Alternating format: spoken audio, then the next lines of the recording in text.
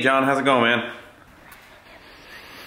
Okay. Good afternoon, guys. What is going on? Welcome back to the channel. It has just been an insanely busy, jam-packed weekend. It's I've been going nonstop, still have not stopped, but uh, we just got back from the Motorama event, which was amazing. It was awesome. I love, love, love meeting you guys, talking to you guys, uh, the builds that you guys got going on. I, I, love listening and talking to you guys and, you know, just communicating. I, I, I love it. I love it. I love doing events. Um, and, and that's the whole plan is to do a ton more events this year, uh, travel more, get out there more, try and fly out to places where I'm never gonna be able to drive to, do meetups, do more events all over the place. So it's not just local people that get to experience that and I get to hang out with you guys. So I'm gonna try and do that for everyone. I'm gonna try my best anyway, but uh, that will be coming in the future. But anyway, for today's video, it's gonna be kind of short. It's gonna be a little quick. As you guys maybe have seen if you follow my Instagram, I'll put it up here. Um, I did ask for some questions for a short Q&A. We're gonna try and get back into the normal schedule coming off an event weekend, uh, back into the videos at the shop. We're at the home garage now. Um, the person that I, the John, I know like 17 Johns. The John that we just answered was John from Freedom Racing Engines and that we were gonna be getting into that in the first part of the Q&A. We do have two things from the P.O. box as well that we're gonna open up quick and then roll into the Q&A and then we'll be back to normal working on stuff in the garage videos until we then have to leave again probably shortly, which I'll again get to second part of this video. One other thing I wanna add to as well is just thank you guys so, so much. You guys get pumped to meet me and see me and talk to me. I get just as pumped to hang out and talk to you guys as well. So it's awesome. Thank you guys, everyone who, who drove, you know, short, far, everything in between to come out and hang out and support me, support Wrenchworkz, hang out, talk to Allie. Allie was there. She was meeting everybody too. Um, it was just an awesome, awesome experience. So thank you guys so much. Um, real quick, Allie is working on all of the Wrenchworkz orders orders that happened online this weekend. We're gonna be getting those shipped out. To Monday is actually a holiday. The post office is closed. Everything will be ready to go and go out the following day. I can guarantee you that. We are also gonna be updating, depending on what time this video goes up, it might be still a little bit or it might have already happened. We're gonna be updating quantities on wrenchworkz.com of the the whole whole entire inventory. Um, there was a lot of miscellaneous sizes that we may or may not have had. So if, if you guys were one of those people and still want to get in on the mini giveaway for this little mini launch, which is going to be ending in the next couple days, go to wrenchworkz.com, check and see if we have the combination of the size and the shirt or whatever you may have needed there or maybe didn't see. It's The inventory is going to be updated very, very soon. What we are giving away, if you did or did not know, is a brand new MBRP four to five inch exhaust tip and a half inch drive snap-on brand new extension set. So we're gonna be ending that very, very soon in the next couple days, definitely by the end of the week. So make sure you guys get in on that, get that limited green t-shirt. We are pretty much almost out of them. So wrenchworkz.com, that's done, on to the P.O. Box. Alrighty guys, as always, P.O. Box is always down in the description if you wanna send anything. First one here is from the Jessups, I believe. It just says Jessup, so I'm assuming it's the Jessup. So um, the box, I don't know if the box gives it away or not. It says the Ultimate Dash cover, so I'm not sure if it's a reused box or what, but we are gonna find out.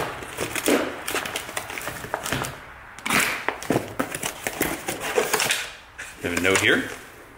Hey Greg, mine takes the glare out of my window. Hope this works for you. Enjoy. Jessups. Let's see here. So it might be, it might be a dash cover. Check that out. All right, this is a dash cover. Look at that. Oh, whoa. Oh, we got a Wrenchworkz logo. Take a look at that. That is spot on. All right, well, we're not at the shop, but we're going to have to make sure we include this that is sweet. Thank you very much. That's awesome. Throw this right back in here. Make sure we don't mess that up. Next up, um, oh, George. George, this is from Australia. George from Australia, I can already tell you, thank you very much, man. I appreciate it. Got a note in here. Hi, Greg and Allie. Just a note to say thanks for all, thanks for the channel. I really enjoy watching and learning from you all. Greetings from the rest of the crew, especially Mr. Sennick. Keep up the great work.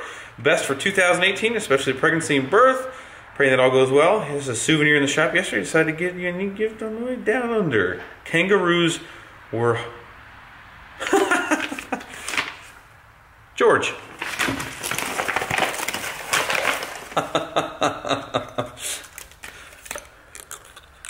what does that look like, boys?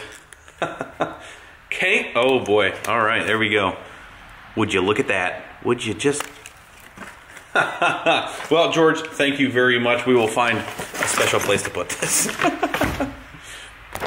All right, so that's going to do it for the PO box as of now. We have some more race truck parts rolling in, which we're going to get to in tomorrow's video. So make sure you guys are subscribed, liking the videos, and stay tuned for tomorrow's video. We're going to now go to the Q&A. So again, if you guys follow my Instagram, you know that I posted a picture and said send me some uh, questions so we can do a little Q&A here. Um, maybe give you guys some more insight on what's to come and whatever else you guys want to know. Uh, before we do that, I did actually film a little bit at Motorama. Um, uh, one last thing I forgot to hint on when I was talking about that is very very difficult. I have a plan for the future how we can get better at being able to film while we're there, maybe with the help of another person uh, that's kind of in charge of capturing that. Um, when I'm at these events, you know, the guys that travel, uh, you know, sometimes pretty far to kind of hang out and talk, you know, I want to want to be aware of that and you know spend time with those people um, which obviously you guys aren't there. You're not local. I don't expect people to you know fly in forever just for an event that i'm at. If you want to do that that's great.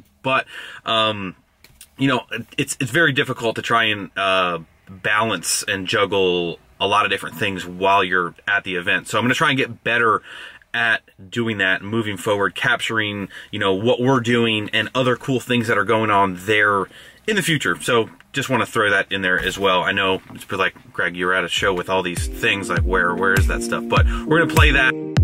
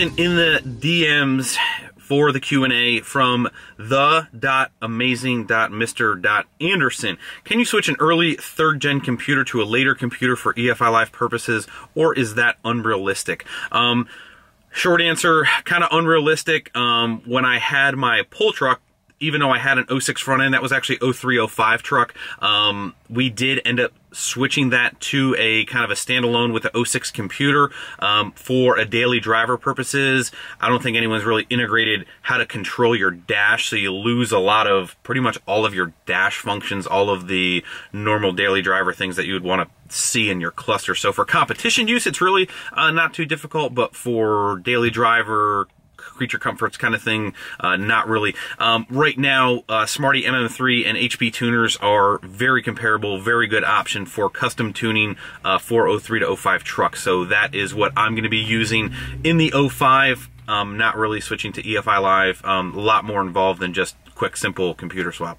Next one from Dan Grabs. A couple different questions. How'd you get into diesel performance? How'd you learn to work on your trucks? And how do you feel about Raceway Park, which is a very local track to me that hosts a very large uh, event for big rigs and diesel trucks? Um, they recently shut down and will not be doing that event. I don't know if they're not going to be doing that event. I don't think there's going to be any racing there at all. And they actually had uh, hosted big NHR races, I think at least once, like a national or something. I never went there for that, but they hosted a big event, which really, it does, I mean, long, short answer is it, it, it sucks. Um, I think they're going to turn it into like a rental car parking area, you know, typical, I think they built a bunch of houses around it and people dealt with it.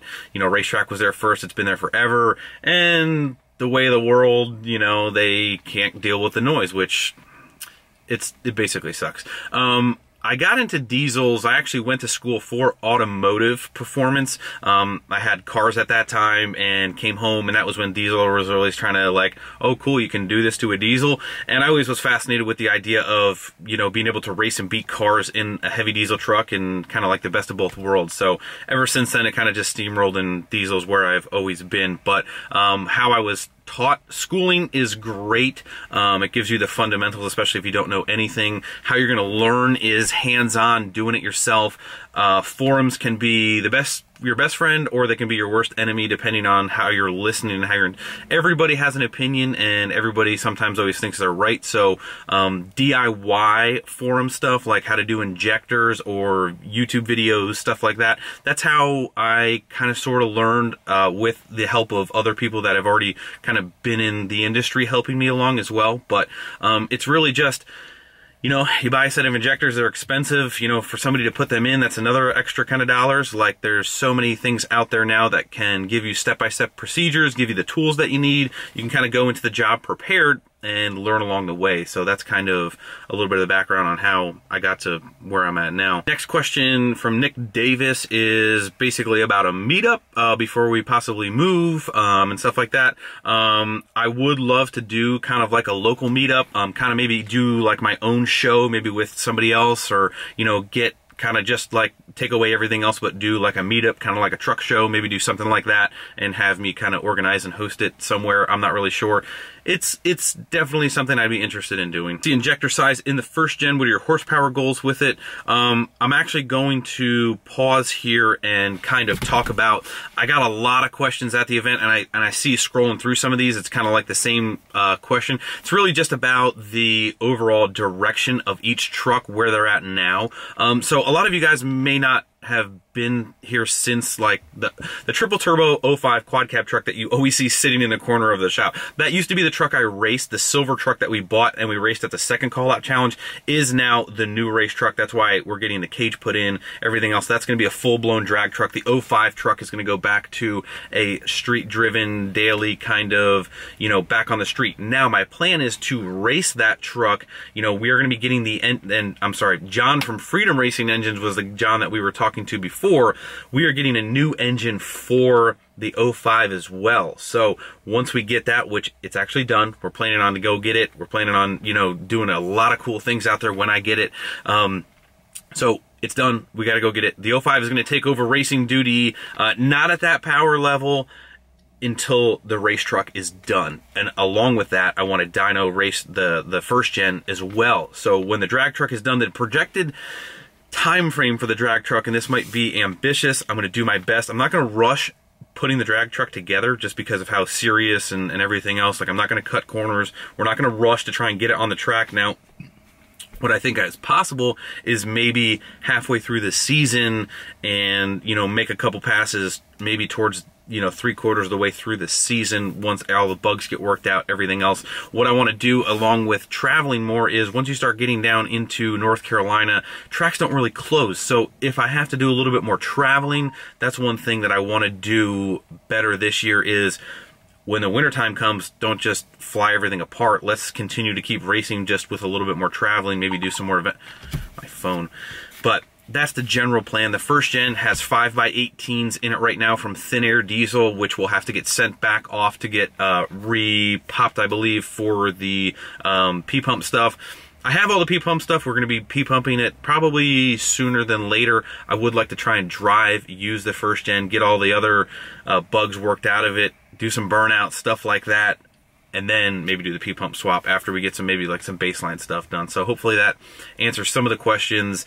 Uh, as far as the, I'm to turn my phone on vibrate now the horsepower goals for the 05 are kind of up in the air. We're to go out there. We're to talk to Fleece. We're to we're to get a game plan together and really just maybe do this thing in stages. Maybe we'll jump.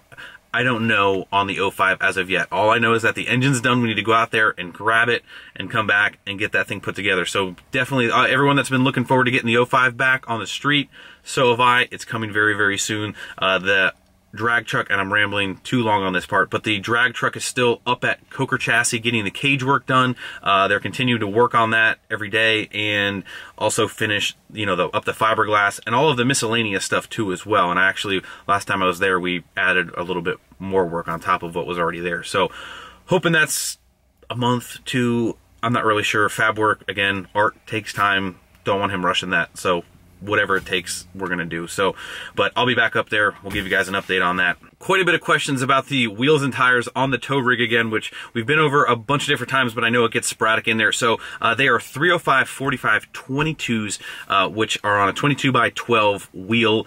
Um, no issues. They don't rub. They don't rub because I have extended control arms from Top Gun Customs, which push the axle forward just an ever so slight amount. Uh, they do rub the front of the plastic bumper, which we trim just ever so slightly, not even on the front side that you can see. It's actually rubs on the, where it's folded over, so you can't even really see that it actually is rubbed anywhere. And we didn't have to trim any of the metal, which was the whole point of doing extended control arms on a stock truck height, uh, stock height truck they only it only pushed the axle forward maybe like half to three quarters of an inch. They are the ones on they're not adjustable. They are like the four or five hundred dollar ones that you know say they push them out like seven eighths of an inch or I, for like it's for lifted trucks so you can recenter after you uh, level trucks. I'm sorry. So after you level a truck, they can maintain that correct spacing. Um, another question that I read is about the airbag setup on there with the traction bars, which I'm actually going to take you guys out. Let me, I'm going to take my key out so it stops dinging, but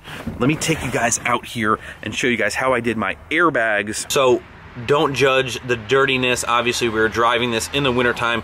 You can kind of see I have welded the actual airbag mount underneath and then the traction bar mount is right underneath that welded as well. Now if you're doing U-bolt stuff um, that kind of clamps around it you're not going to have enough room but my bottom mount is actually welded to the axle in a couple just just very small. All that mount is really held in by is a U-bolt clamp which usually sits right around here. So I took that out kind of just welded just a little bit there in case it ever has to come off again. It's not completely, you know, crazy welded, and then the traction bar are welded right underneath that. Welding it gives you enough space to not have to clamp anything. A lot of questions about the baby. I actually on one video I had a subtitle that said like one month left to go. Um, it's actually two months. It's actually two months. It's uh, end of April, which a lot of questions are about uh, events as well, like Rudy's and UCC.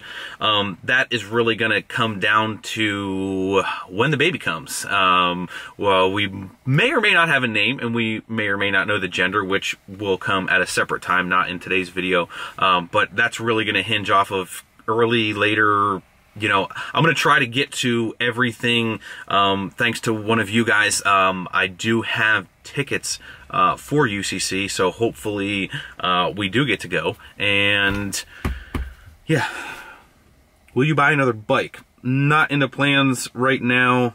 Are you going to UCC? Just answer that. Why no second gen love? Um, I would love another second gen, honestly. Um, it just kind of comes down to like how many trucks is Greg gonna like? You can, you can only drive one at a time, so you know, I'd I'd love to kind of have one of one of everything and keep doing it like that. But as of right now, I mean, who knows? Maybe one day, maybe I'll have one of one of everything. But as of right now, it's like, you know, how do I how do I justify that? So um, there's other and, and there's other great guys out there that do uh, second gen videos as well. How is daily driving the 12 wides and the, do you like the tire? I didn't really mention that. I love the Hankook Dynapros that are on there. They're awesome. I have quite a bit of heavy towing miles on them. I've been very bad with rotating them and they still have done really well. T driving with 12 wides, um, you're going to beat up your front end just a little bit faster than you would normally, but I haven't had anything normally out of the normal that I wouldn't not recommend running them. Do you plan on taking trucks to SEMA with a Wrenchworkz booth?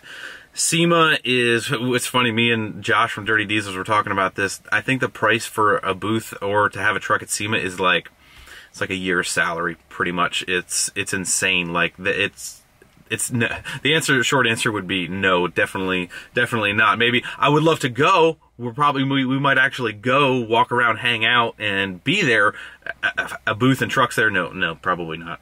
Will you and Street Speed 717 ever race your projects? We were actually supposed to race our projects at the first call, or was it the first call? Yes, the first call out challenge where he blew up the rear end in the Corvette and I blew my entire engine up. So we both broke, but we were actually supposed to, that was going to be a, a, pretty big thing. Um, and it just never happened. So eventually, yes, I would love to really race pretty much all, everyone that has fast stuff and hopefully the drag truck towards the end will make it to one of the call out challenges. Are you going to keep a stack in the 05 when it goes back on the road? Um, as of right now, I think it might stay. I'm not, I could go either way on that one too. Kind of, a lot of these questions I'm really not really decided. I kind of decide as everything is happening. I think the stack is probably going to stay in it for now. A lot of questions about lifting stuff, uh, maybe lifting the 05. Um, I actually had this, this, the 08 had three inch uh, progressive coils in it and it had quite a beefier setup on it.